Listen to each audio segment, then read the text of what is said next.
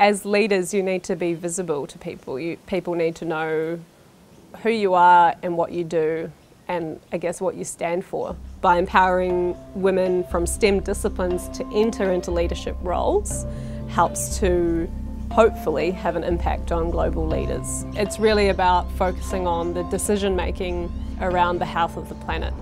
I'm a soil scientist. I was selected for the Homeward Bound Leadership Program that finishes with an intensive leadership training section in Antarctica on a boat.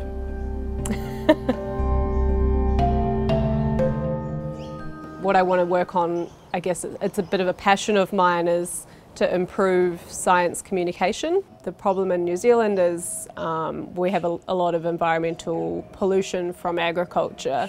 If we can communicate science better and connect people a little bit more, that we could have a bit more understanding and actually find a common ground. Just doing a little bit of preparation for the voyage. Antarctica is somewhere that not many people get to go. It's um, the fastest warming place in the world.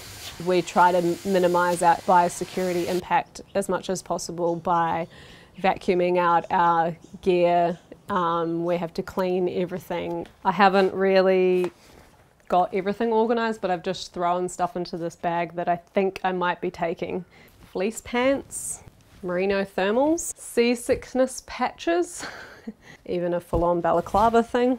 The type of training that we do is quite intensive from what I hear, so being in a, a zone of kind of complete isolation from other aspects of the world is, a, is the best way to um, create change. For me, it's really about being connected with the other women on the program and the, the incredible network of people around the world who are doing really, really cool things and really they're just, they're game changers. I guess I, would love to be like one of those people, but being connected with them is uh, probably the next best thing.